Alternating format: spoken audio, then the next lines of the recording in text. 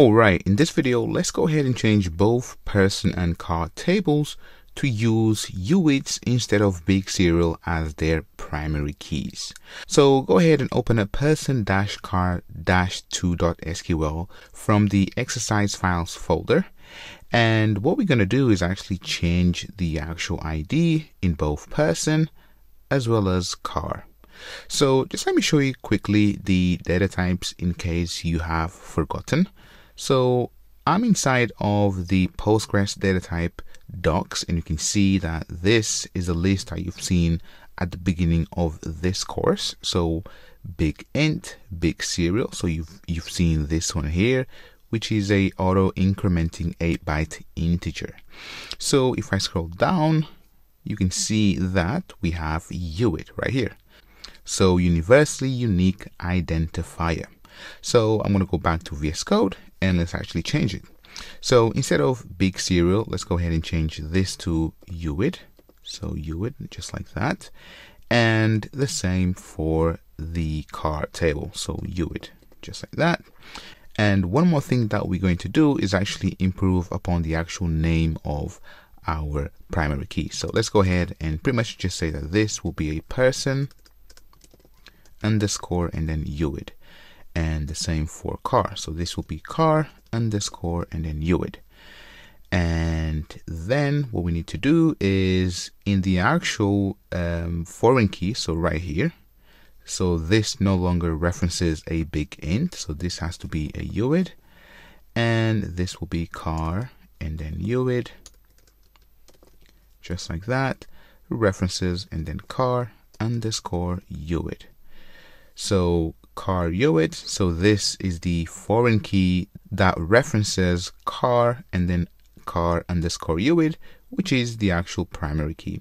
And now we have to change the actual inserts, right?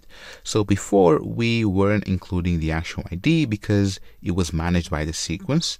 Now we have to be explicitly about it. So we have to include ID here, or actually not ID. So we renamed it to person and then underscore UUID. So just like that. And then the actual value is UUID and then generate underscore and then v4. So remember, this is the function that we saw in the previous video. So I'm going to pretty much just do the same for the rest. So I'm going to copy that. So this should be person and then underscore UUID and then paste that in. So invoking the function the same here. Again invoking the function. And let's do the same for car. So car and then UUID values and then we paste that function there. The same for this next car. So car underscore UUID and then paste the function there all right, and finally, what we need to do is actually change the order of these table creations. So remember, because we have a foreign key constraint here to car, so car must exist first. So just let me add car first here, and then the actual person.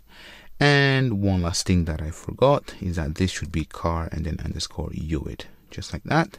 So I'm gonna save this as person and then dash car and then dash and then 3.sql in my desktop. So I'm going to save that and we are good to go. Now open up iTerm or terminal or command line if you're on Windows. Now, because we're going to recreate these two tables, let's go ahead and drop the table called person first because there is a foreign key constraint between person and car.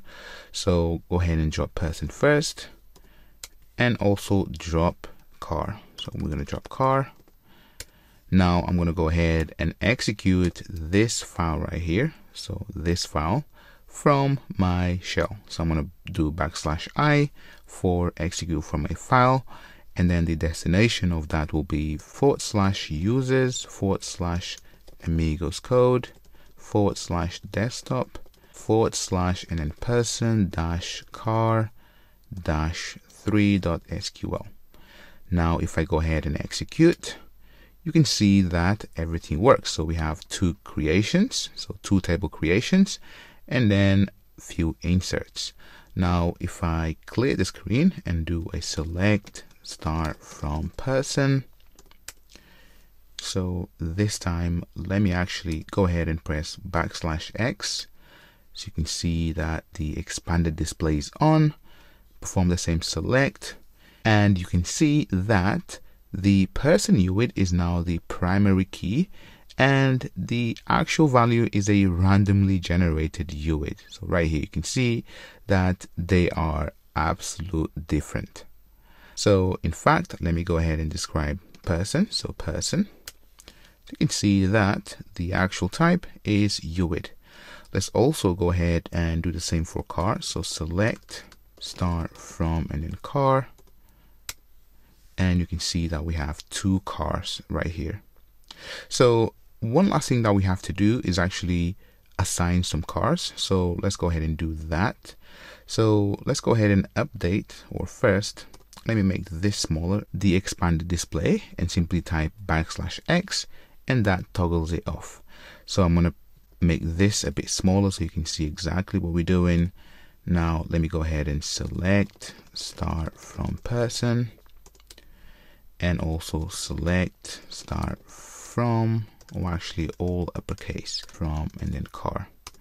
There we go. So now let's go ahead and update and then person set and then car underscore UUID equals to and let's grab this first UUID so this one here and this has to be within quotes where and then person underscore UUID so we're going to assign this car to let's say let's say this time Adriana gets to get the car so we're going to paste that in update that and also let's go ahead and assign a car to Fernanda so Fernanda we'll have a car. So just let me delete that. And the car will be GMC. And then grab this car UUID and then paste that in. Enter. You can see that works. Now let's go ahead and perform a join. So select star from and then person and on a new line join and then we're going to join car and then we can say on person dot and then car and then underscore UUID equals to car dot car and then UUID. If I press semicolon, enter, and you can see that if I make this smaller, so because we have lots of columns, so press enter, still not enough, but let me go ahead and add the expanded toggle. So backslash X and then perform the same query. And now you can see that this first record, so this one right here, so this is Adriana, and you can see that it has the person details as well as car details. So it's a join between those two tables. And the same for Fernanda. And you've learned this on the join section. So I can make this bigger now so you can see properly. So now I want to show you one thing and that is you see that we perform a join right here, right? So join car on person.car UUID and then car and then dot car. So because these fields are the same, so the keys, i.e. the foreign key and the primary key are the same, we can pretty much just remove that. And then I can say join car and then using, so this is using, and then car UUID. Because both the primary key and the foreign key have the same name, instead of you saying car and then dot car underscore UUID, person dot car UUID, you can simply much ditch that and use this using keyword, which is much nicer. So let me go ahead and press enter. You see that also works. So we could also do a left join. So we want to grab everyone with and without a foreign key constraint. So for that, left and then join and then press enter. And now you can see that we have three people back and Omar he doesn't have a car. So right here you can see that car information is empty for him. And let me go ahead and perform a left join and then where. So let me go ahead and say where and then car dot and then star is no. So now we should only get Omar. There we go. And this is how you use UUIDs with Postgres. And also you saw that this keyword right here using is really useful when both the foreign key and the actual primary key have the same name.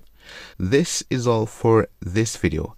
If you have any questions on using UUIDs, go ahead and drop me a message. Otherwise, join me in the next video. See ya.